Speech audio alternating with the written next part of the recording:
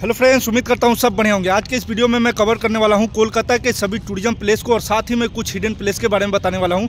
और साथ ही आपको बताने वाला हूँ कि अगर आप कोलकाता में स्नोफॉल यानी बर्फ़ का मज़ा लेना चाहते हैं तो वो भी यहाँ पे उपलब्ध है। सो so फ्रेंड्स इस वीडियो में मैं कवर करने वाला हूँ कि जब आप कोलकाता आते हो तो सबसे बेस्ट रूट क्या है सभी जगहों पर घूमने के लिए? आपको रुकना कहाँ चाहिए? और मात्र सात दिनों में आप कोलकाता के सभी टूरिज़्म प्लेस को कैसे कवर कर सकते हैं? सो फ्रेंड्स सबसे पहला टॉपिक है कि आपको कोलकाता के रुकना कहाँ है ताकि आप सभी जगहों पे आसानी से जाकर घूम सके। सो फ्रेंड्स स्टे होने के लिए सबसे बेस्ट है आपको या तो सियालदा रेलवे स्टेशन के आसपास में होटल या रूम लेना होगा, या फिर आप धर्मतल्ला के आसपास अपना रूम या होटल ले सकते हो। इससे क्या होगा कि आपको कहीं भी जाने के लिए आसानी होगा और खाने पीने का चीज़ भी आसानी से आपको मिल जाएगा। सो so फ्रेंड्स आपको अपने होटल तक जाना है और उसके बाद आपको डे बाय डे अपना टूर प्लान बनाना है। तो मेरे हिसाब से सबसे पहला दिन आपको निकलना चाहिए निको पार्क के लिए। निको पार्क जाने के लिए या तो आप बस का ट्रैवल कर सकते हो, या फिर आप मेट्रो से जा सकते हो, या फिर अगर आपका बजट अच्छा है तो आप टैक्सी, ओला, उबर ये सब बुक करके जा सकते हो। अगर आप निको पार्क जाते हो बाई टैक्सी तो आपको 500 300 से 500 के बीच का फेयर लगेगा। अगर आप बस से जाते हो तो पंद्रह रुपये के आसपास या फिर बीस रुपये के आसपास में आपका फेयर लगेगा। और अगर आप मेट्रो से जाते हो तो वहाँ पे एक मेट्रो स्टेशन है और वहाँ मेट्रो स्टेशन पे उतरने के बाद आपको टैक्सी या फिर अगर आपको टेंपू मिलता है तो उससे आप निको पार्क जा सकते हो। तो बेस्ट रूट कहा जाए? तो अगर आपका बजट अच्छा है तो आप टैक्सी बुक कर लो या फिर बस से या फिर मेट्रो से जाओगे।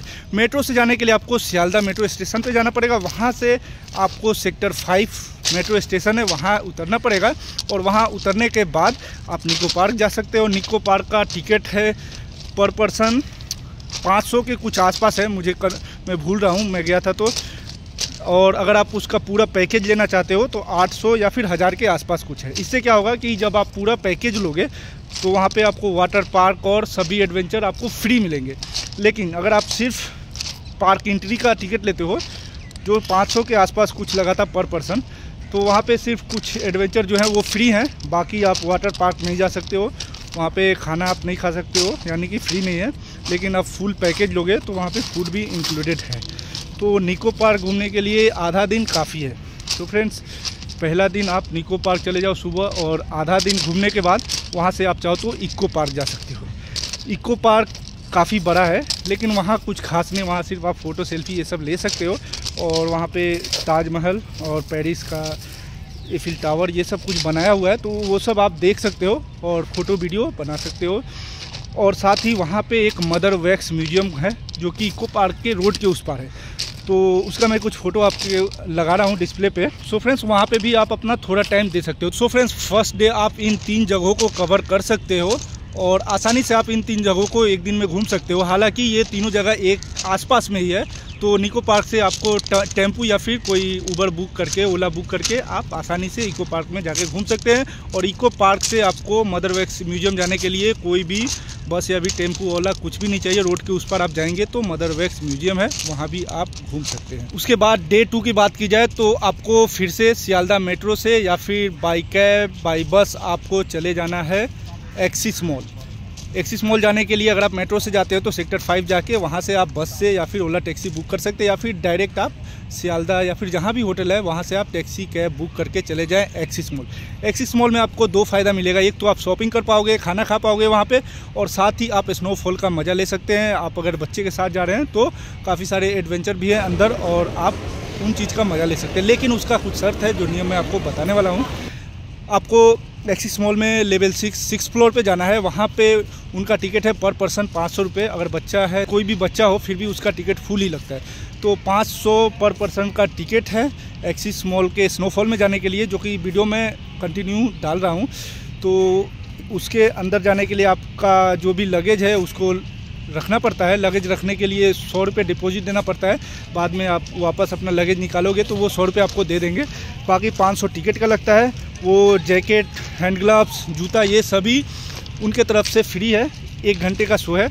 आप एंट्री करोगे एक घंटे वहाँ पे स्नोफॉल यानी बर्फ़ में आप घूमो, मस्ती करो बच्चों के साथ। उसके बाद साथ ही आप एक्सिस मॉल में शॉपिंग कर सकते हैं। सभी चीज़ वहाँ पे अवेलेबल है।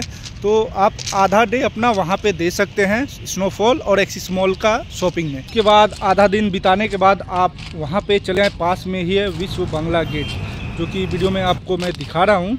यहाँ पे कोई भी इंट्री फ़ी या फिर इंट्री टिकट नहीं लगता है। इसमें सिर्फ़ शर्त यह है कि आपको यहाँ पे कम से कम पाँच सौ रुपये का खाना खाना पड़ता है पर पर्सन तो अगर आप एक आदमी हैं तो आप आसानी से इंट्री कर सकते हैं, लेकिन आपको वहाँ जाके खाना खाना पड़ता है कम से कम पाँच सौ रुपये का। लेकिन वहाँ का खाना बहुत ही टेस्टी होता है, मैं खुद गया था तो हम दो लोग थे और साथ ही मैं बता देना चाहता हूँ, अगर आपके साथ कोई बच्चा बच्चे कोई भी टिकट या फिर खाने की भी शर्त नहीं है। लेकिन अगर आप दो एडल्ट हैं तो आपको कम से कम पाँच सौ रुपये का पर पर्सन खाना खाना पड़ेगा। तो हम लोग दो आदमी थे तो एक हज़ार रुपये का खाना खाए। लेकिन खाना बहुत ही टेस्टी था, यानी कि पैसा वसूल फुल पैसा वसूल खाना है उसमें। और उसमें आप चाहो तो वीडियो बना सकते हो, आप चाहो तो फ़ोटो सेल्फी ये सब ले सकते हो। तो बहुत ही बेहतरीन लगा वहाँ पर भी घूमने में। तो आप चाहो तो एक दिन में इन दो जगहों को भी कवर कर सकते हो। उसके बाद तीसरे दिन की बात की जाए तो डे थ्री में आपको चले जाना है साइंस सिटी साइंस सिटी जो कि मुझे कोलकाता में सबसे बेस्ट लगा। साइंस सिटी में बहुत सारे अच्छे जगह हैं घूमने के लिए और बहुत सारे शो भी चलते हैं उसमें। जैसा कि हमने शो देखा थ्री स्पेस का शो जो कि थ्री में दिखाता है, बहुत ही बेहतरीन है।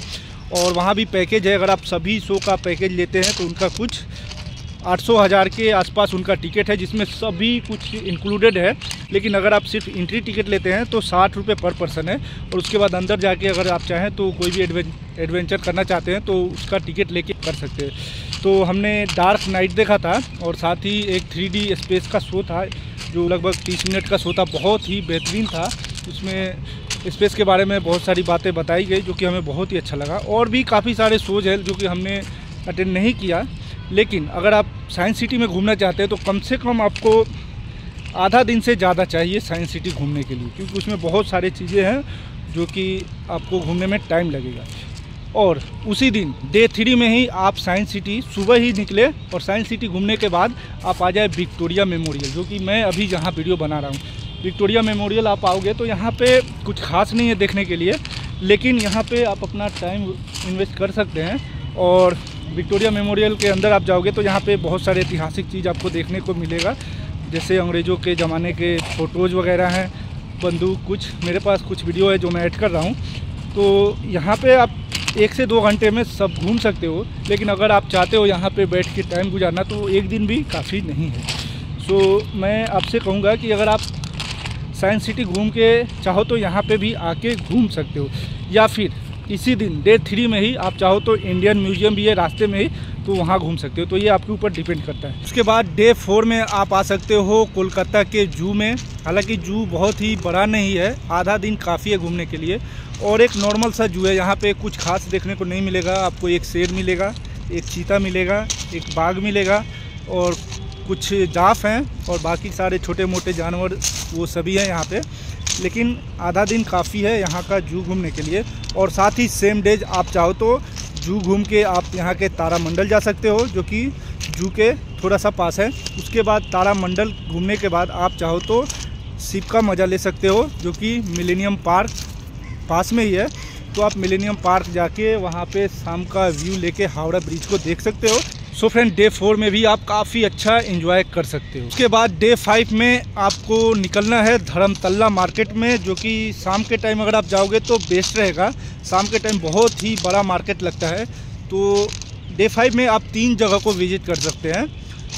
हालाँकि सबसे पहले आप चले जाओ पोदम पाकुर शूज़ मार्केट वहाँ पे आपको एक से एक तरह के शूज़, चप्पल, बच्चे, बड़ों के और लेदर बैग, लेदर बेल्ट, ये सभी एक चीप एंड बेस्ट प्राइस में मिलता है।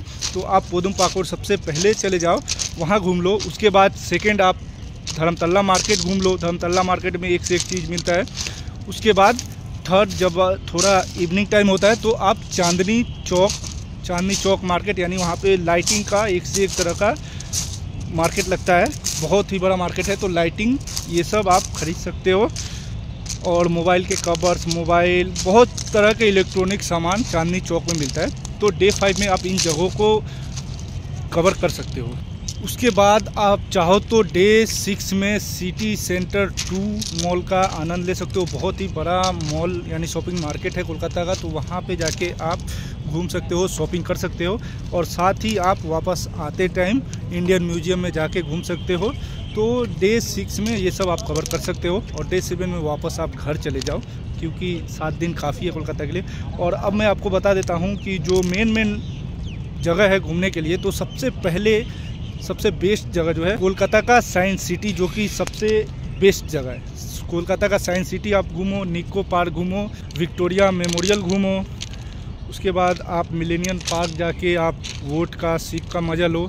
तो ये सब बेस्ट जगह है। बाकी आप जू और तारामंडल इन सभी जगहों पे घूम सकते हैं। सो फ्रेंड्स उम्मीद करता हूँ कि इस वीडियो में मैंने सभी जगह को कवर किया है कोलकाता का, जो कि बेस्ट जगह है। वैसे अगर आप देखोगे तो काफ़ी सारे और भी जगह हैं घूमने के लिए, लेकिन ये डिपेंड करता है अगर आपके पास ज़्यादा टाइम है तो आप डे बाई डे सब जगह घूम सकते हैं। लेकिन आप कम टाइम में घूमना चाहते हैं तो एक दिन में दो तीन जगह को कवर कर सकते हैं। सो फ्रेंड्स उम्मीद करता हूँ वीडियो आप लोग को पसंद आया होगा। मिलते हैं फिर नेक्स्ट वीडियो में, तब तक के लिए धन्यवाद।